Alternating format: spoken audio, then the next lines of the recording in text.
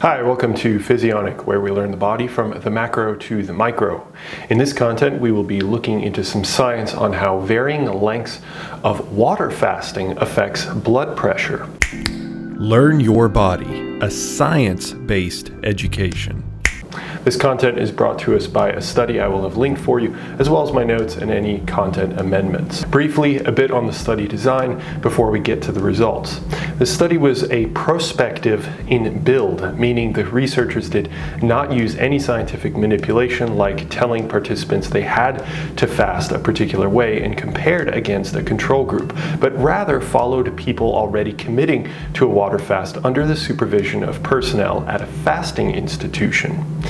Participants of the study chose to fast for either 5, 10, 15, or 20 days in a row and had to be in generally good health, although participants were often overweight and some had blood pressure issues, which makes this data that much more relevant. Although a straight water fast would have been preferable, all participants consumed a 200 calorie soup each day, but the rest of the time they consumed water.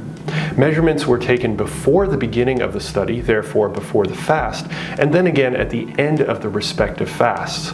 Unfortunately, there were significant pre-study weight differences between the 5, 10, 15, and 20 day conditions, which makes comparisons between the groups difficult, but we will still be able to compare their pre-fasting measures to their post-fasting measures. So, onto the data. As you likely know, blood pressure is split into two numbers. The top number, which is systole or systolic blood pressure, and represents the high pressure environment of the blood vessels when the heart pushes blood out of itself by contracting its muscle. The bottom number, diastole, or the diastolic blood pressure, represents the relaxation of that musculature, thereby creating a low pressure environment in the blood vessels.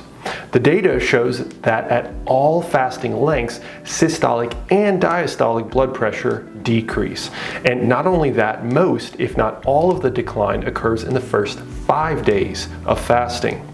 This is evidence that fasting can reduce blood pressure from pathologically high blood pressure to normal blood pressure.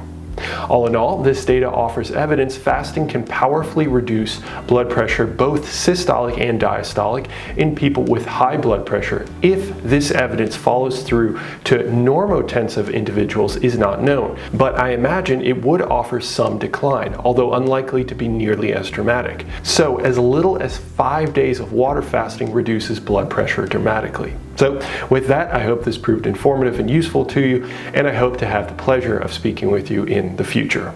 Cheers.